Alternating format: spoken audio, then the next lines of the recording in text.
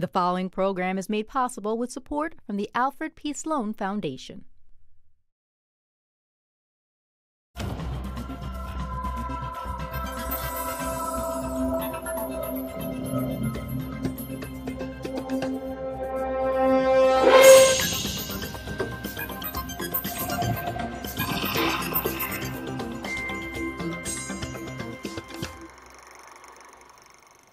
Welcome to Science Goes to the Movies, a look at the stories of science and how they change our culture.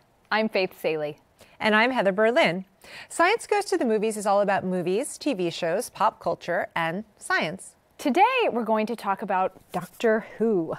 Doctor Who is a British science fiction show that ran from 1963 to 1989. The show took a 20 year hiatus and then came roaring back in 2009 and has been growing stronger every year.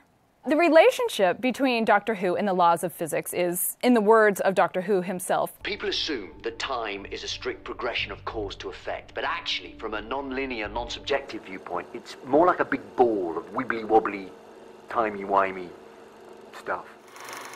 That said, there are some elements of the fiction that line up very well with the weirdness of quantum physics. For instance, the Weeping Angels.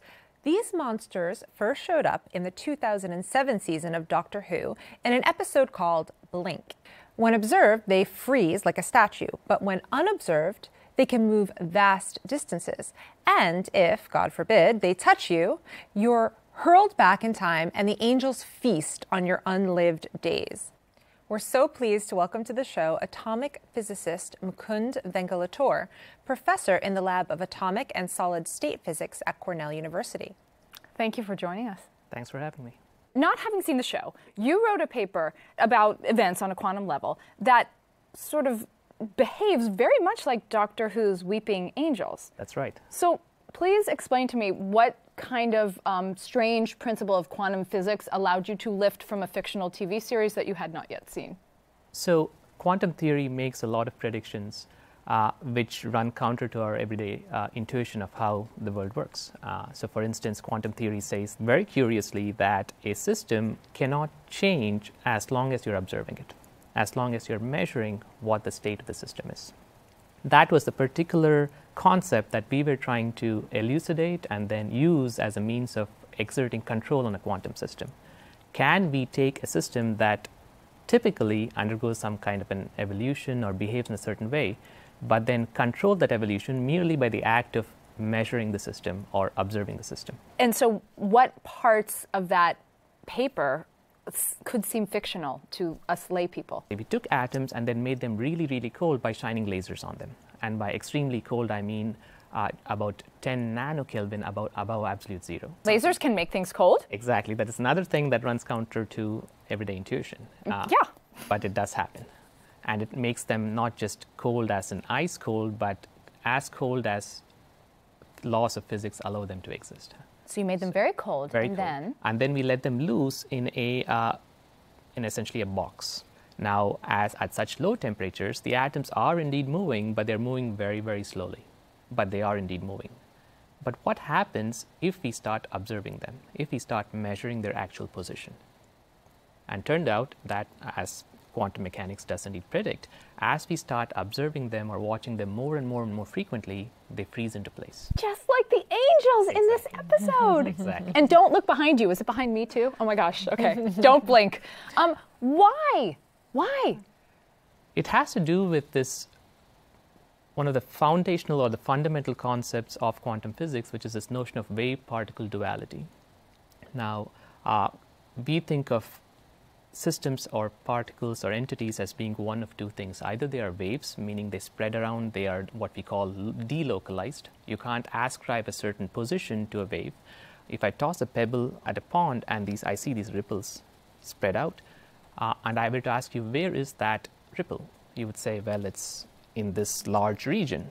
I ask you, where, where is it headed? You say it's headed all over the place, right? It's, it's coming out as a circle.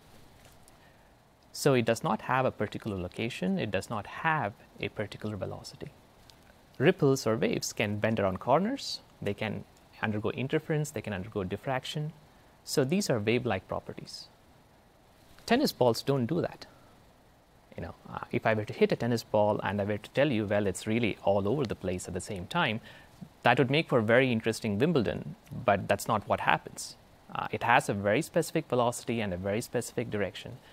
Quantum mechanics says that at the atomic level, at the nanoscale, both these very disparate properties can exist at the same time. And here's the even more curious part whether, whether you see particle like or wave like properties depends on what experiment you're trying to do. If you are looking for wave like properties, you will find them. But if you're looking for particle like properties, you will find them as well, but never at the same time. We live in a really open society. Why should it be so mind blowing that things go both ways? uh, for two reasons. One is we are talking about the same entity, which can behave in one of two very different ways. Uh, and these two concepts uh, are, we like to think of them as uh, two very, very different kinds of physics. Okay, it's not the case of a person who you know likes soup and meals. Uh, that is not strange. But to say that here's a particle that can, or here's an entity that can behave both as a particle, tennis balls moving back and forth, and as a wave, sound waves which can diffract around corners and so on. But at the same at the same time, and more curiously, what it actually ends up doing depends on what you're looking for. You can get it to behave like a particle if you look for particle-like behavior, and you can take the same entity and then get it to behave like a wave if that's what you're looking for that is rather curious. That I will grant you. That is very curious. But are these just abstracts? I mean, can we actually just build something on these principles? Are they meaningful? Absolutely. And in fact, it's it's uh, they are not abstract. They have shown themselves to work at levels of incredible precision, and they have given rise to a lot of very very important and you know revolutionary technology like transistors. You know the notion of computation, lasers. Uh, when people uh, actually, when scientists actually built the laser, uh, they were not thinking of barcode scanners in the supermarket. Uh, they were actually trying to uh, measure certain properties of individual atoms uh, with incredible precision to verify predictions of quantum theory. And that, in turn, as is often the case in science, what starts off as a very fundamental curiosity about the way nature works ends up creating a lot of applications uh, which the initial scientists who actually developed those models or developed those experiments had no way of knowing. And that's usually the way science works, that, you know, uh, fundamental curiosity gives rise to technology, which then improves the sophistication of our experiments, which then gives rise to other technology, and so on and so forth. It's so cool. It's so cool. I think people like you and mm-hmm. and me who aren't physicists just find what you do so cool. Actually, after we published this paper, which to us was, in a sense, very interesting, at the same time, a uh, you know, a confirmation of what quantum mechanics does indeed predict about the importance of measurement. To, to us, that was a very nice experiment, and my students worked very hard to get that to work. Uh, but the public attention caught us by surprise. So maybe I can ask you, uh, why do you think this is cool?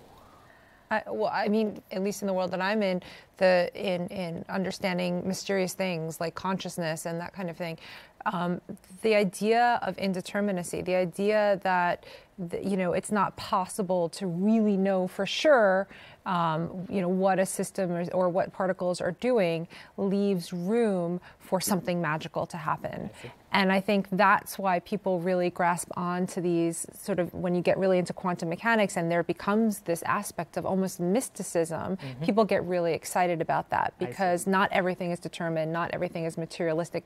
You know, even though it is in a way, yes. it leaves a little bit of room for some uncertainty. Yes. And, and and a lot of times people equate that with maybe that's how consciousness exists. You know, maybe there's something to do with the quantum world that links the physical brain to the mind, and there's something magical going on. And so there's spooky stuff over here, there's spooky stuff over here, they must be related. Right. And that's not necessarily true, but I think it's why people get excited. I see. Doctor Who is all about time travel, and one of the fundamental claims of the theory of quantum mechanics states that in the world of subatomic particles, time runs backward as well as forward. Mukund, how? Why? What? Again, is this true? The short answer is yes, it does seem to happen, or yes, it, that's the way it seems to work. And uh, why? I don't know. It is another thing that we believe uh, comes about as an emergent property as you take systems and make them more and more complex. Whereas at this microscopic level, at the level of a single atom, whether you run the equations forward in time or backward in time, it's symmetric. Doctor Who's TARDIS is clearly fiction, but as a scientist, do you think time travel is possible? At the tiny level, it's not only possible, but we know it happens. But could you actually say that maybe, I mean, time doesn't really exist? Exactly. Time, I, very much, the current understanding, and this is again very much topics of current research, is that time, uh, like many other lar- macroscopic classical properties, is emergent. Is that to say it doesn't exist? I thought one of Einstein's as- amazing breakthroughs was that it's relative. It's relative, uh, and uh, the classic quantum physics answer is it is undefined. It does not make, ra- rather than say we don't know the answer, uh, the way quantum physics has, in a sense, swept these uh, uh, questions under the carpet, is to say, don't bother asking. But also, we the way we perceive time. I did some experiments with with people on, on time perception and how we understand time, and it's very subjective as well. So that our perception of time can either be faster or slower depending on a million different things and also we're tying it to what parts of your brain are involved in your perception of time and we can even uh, stimulate your brain with, with magnets and m- move your perception of time around and dilate it or constrict it so it's such a malleable kind of construct that we i feel as if you know we've created But wait, I, I'm just gonna, I just really got to know. I mean, time, like, do you think time travel is possible in the way that, you know, someday possible in the way that maybe Doctor Who does it? For large macroscopic objects, I would doubt it. Sorry, but but it's another very fascinating uh, aspect of quantum theory that at the level of single atoms we know it happens, and I, I can give you a very uh, uh, uh, easy to understand example uh, of the the uh, why this is confusing. Because, for instance, if I were to put a single drop of milk in my cup of coffee, and I look at it then and there, then you can clearly see that there's a spot of white in the coffee. If I come back the next day, it's going to be the, the coffee is going to have, you know, the milk is going to have completely mixed in. But there's nothing in the laws of physics really that says that a drop of milk here has to go and find another spot. It is as likely for, for a little quantum of milk to go to from a spot here to there as it is likely for the same quantum of same kind of molecule of milk to go the other way around. There is nothing in quantum theory that says you only have to go this way. It's only that when you put in a lot of these molecules and then you say, on average, what happens? And then you realize that there are many more paths for the milk molecules to go out than it is likely for all these molecules once spread to come back in. And so then you ascribe a direction to time saying clearly the mixed situation happened later than the single drop situation. And so I'm going to f- define the direction of time to be this way. I see. But if you look at any particular molecule of milk and you say, did this molecule just head straight, straight to this point? No, it's just as likely for that for the other opposite thing to happen. So, from your point of view, uh, our- our way of ascribing time is a way to understand a sequence of events, but but it's more not inexorable. It's not. Exactly. Yeah. You're saying on average, do things get more disordered? Do, do things get more messy? Well, that's the direction of time. That's the second law of thermodynamics, right? That's absolutely right. But I think what you're saying is that ultimately time travel is possible if we can break ourselves down to the molecular or the, the Yes. quantum level If we were and to we can shrink you down- translate each one of those little pieces. Well, time travel is happening at that level. can- Absolutely, all the time. In Doctor Who, an action taken at one end of the universe can affect life in other parts of the universe, even when separated by great expanses of time and space. In real life, Albert Einstein rejected that very idea. Einstein preferred the principle of locality, which states that an object is directly influenced only by its immediate surroundings.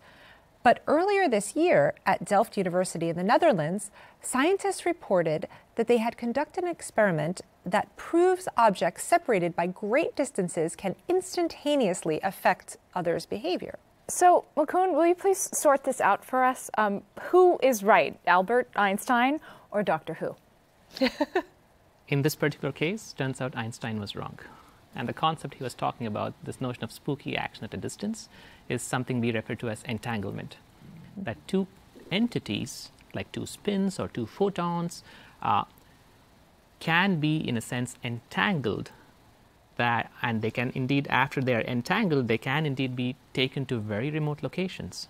And the properties of one are intimately connected to the properties of the other, so that if you measure a certain property of this system here, then it does indeed affect the property of its partner, So- even though they're very, very far apart. So, to produce this spooky action at a distance, which is something Einstein said as, as in a derogatory way, right? And which turned out to be true.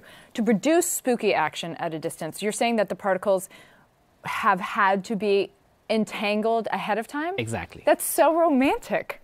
It is, yes. Uh, they, uh, the, uh, the point is, the, uh, you know, once you entangle them, the real, uh, or the physicist way of looking at it is that the collective system, It's conscious uncoupling, right? wow, uh, I had never thought about that way. Anyway, go ahead. yeah. Uh, but it's what we say is we have, in a sense, complete information about the collective system, but the we have very uh, uh, incomplete uh, information about the constituents of this collective system. So when we now take this collective system, having prepared this entanglement, and then take them far apart, we can only still have complete information on what the collective system is, but not on any individual constituent of the collective system. So, for instance, if I were to prepare to give this a very concrete example, which is also what was done in the Delft experiment, they created uh, two spins. Now you can think of these spins as you know just uh, uh, bits, which can be zero or one. We call them up or down. And they ensured all they had to do was to ensure that if one of them was up, the other had to be down. There were no exceptions. Now that's a very simple situation to understand. But now you separate them, you don't know if this is up or down. But what you do know is if this is up, then this one had to be down, even if these two spins were at other ends of the opposite ends of the universe. And so what they did was to then measure is this up? If this is up, is this down? Instantaneously. That's the crazy part. Instantaneously. Yeah, but if, you, if I were to think about it as now, if I they were to bring them back together and say, you know, one is up, the other is down, I'm not going to tell you which one's up, which one's down. Is that really so strange? And you would say, well, here's my complete set of information about the system. There are two particles, one is up, one is down. Not so spooky. Right? And I can give you a classical example and say, but this is not how quantum physics behaves. So here's a classical example. Say you have two identical twins. They both take off at Heathrow. One goes to Tokyo, the other goes to New York. Let's call them Bill and Bob. Okay, you don't know which one went to New York, which one went to Tokyo. But if you meet the guy in Tokyo and say, well, that's Bob, then in a sense you immediately know that the one who went to New York was Bill. Okay? That's a very classical example that does not sound very spooky because you say, well, I just had no way of knowing. But somebody out there, somebody in Heathrow clearly knew when they checked them into the, uh, to, to, their, uh, to their flight. They knew which one went to New York, which one went to Tokyo. But So that's not so strange. Quantum mechanics does not behave that way. Quantum mechanics inherently, there is no way of knowing uh, uh, which one uh, went where, and the uh, uh, you only have information about the collective system, but you cannot tell. Or let me rephrase that: quantum mechanics. Uh, the exam, the classical example I gave you is not the way quantum physics works. Quantum physics, in a sense, inherently is spooky. But the thing, I mean, this might sound simplistic, but I'm just sort of trying to wrap my mind around it, how these two things can be interacting at such great distances.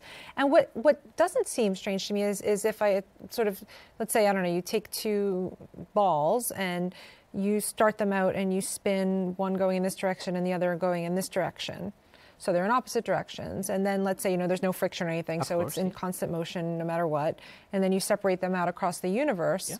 You know, it's not strange for me to think that one's still going to go in this direction and that one's still going to go in the opposite direction without them necessarily having to have be interacting in some spook, interacting in some spooky way across those distances.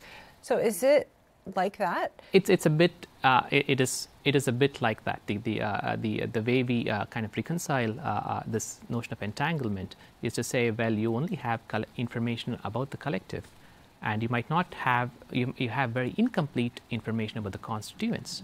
But where, where does the change come in? Because that's that's what makes it spooky. The this this part, right? When when if Bill became Bob, Very good. That's the So- spooky Right. part. And the way quantum physics really uh, uh, kind of tries to reconcile that or tries to get away from that uh, uh, uh, kind of uh, question is to say it does not make sense to ask which twin went to New York and which twin which twin went to uh, Tokyo until you actually measure their locations and measure their identity in the two cities. Bill's not Bill until he lands Exactly. and is, and is determined to be Bill. Exactly. Because it could be Bob. You never know. He could be anybody on that flight. Exactly. okay, now we are going to play a wonderful game in which I get to ask you two questions. Oh, where are they? Right here. I've been sitting on these, you guys. Um, and you have to figure out the answers, okay? So our first question is to our brain girl, Heather, and it is about telepathy. Ooh. Can you read my mind I know and what know the answer? says. Oops. Okay. Um, okay, there's a telepathic species in Doctor Who called the Ood. The Ood have two brains, one brain in their head and a second brain they carry in their hand. This exterior brain allows them to be telepathic. Okay? So the question is Do you think anyone will ever create an external thinking device that would allow us to be telepathic? I like that. It's kind of like our iPhones, right? That's our external brain. Uh, no, actually, I think that's absolutely. Um, I don't think that telepathy will exist in the sense of you know this spooky magical power of you being able to read my thoughts. But via a device yes. And so what's happening now in neuroscience is really exciting. Um, they're developing neuroprosthetics to help people let's say who are um, completely paralyzed or paraplegic and quadriplegic and can't move anything and can't even speak you know how can they communicate and so we're developing these neural implants that you can actually record activity directly from cortex. And there are things called um, BCIs, like brain computer interface, or BMIs, brain machine interface, where we directly connect the brain to a machine that's interpreting the signals. Um, and then it can say, for example, with your thought, you can type an email because you can decode information. Let's say you say, when you think about moving your hand to the left, your motor cortex will fire in a certain way. The machine, the computer will decode that and translate it as a cursor moving to the left or the right. Now, when you say, think about squeezing your hand, that will translate via the computer to a mouse clicking. So now you can imagine a screen with all letters on it, and by thinking move left, move right, now click by thinking about squeezing your hand, that all that decoded information, you can literally spell out a message by your thoughts. Now, it's not 100% perfect, but it's getting very, very good. And now, but it's invasive. You have to actually put these implants, on, you know, on the cortex. They're starting to do things where they have grids, where you can implant an entire grid that's picking up a lot of information, um, which is slightly less invasive. But the real question is, can we get to a point as well where we can do something outside of the skull, so it's non-invasive, like EEG? I mean, right now EEG is not. We don't have the kind of clarity that we need to be able to do this at this point in time, although some people are claiming, but it's very, very primitive. But ultimately, if we can do something that's outside the skull that can translate neural activity and then translate it to your brain and in you know implant that information. Now we can start to do things like that in rats already. So i see no reason why ultimately you know in due course we will be able to do that and translate translate messages between people just by using our thoughts and machines. That's amazing and terrifying. Well, Heather, Dr. Heather Berlin, I would say you got that question right. all Mukund, are you ready? You look very, very nervous.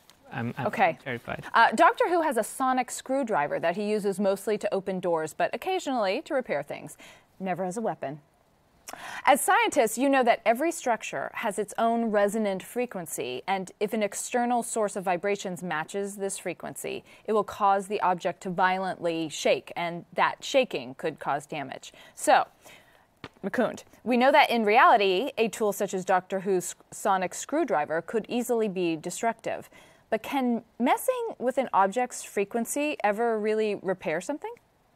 I would think so, and uh, I can give you one particular example of taking a, uh, a material or a substance with a lot of defects in it, and then exciting it at certain frequencies to get these defects to, in a sense, fill in or, or you know, kind of repair itself.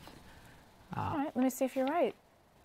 Yes, you're right. Mukund is right. Yay, science.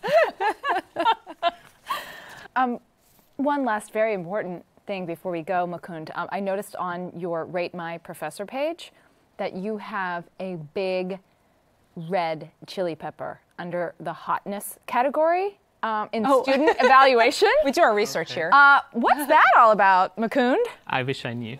Oh, come on. Don't be coy with me. I think it has to do with the fact that I give out very easy A's or no, I'm- Is that a euphemism? no, no. I'm just kidding. Listen, I everybody, had no idea. Actually, Cornell that, gives that's out the first I easy actually A's. saw about it. I don't know. As far as rating our guests, you get you get Yeah. a chili pepper. Two chili peppers. Oh, look, spooky action at a distance, but, we're, but we're Oh. agreeing. Thank you very much. Um, in another universe, we would have time to continue this conversation, but that's all we have time for today. We're so happy you dropped by. Thank Thanks you. Thanks for having me. Thanks for being here.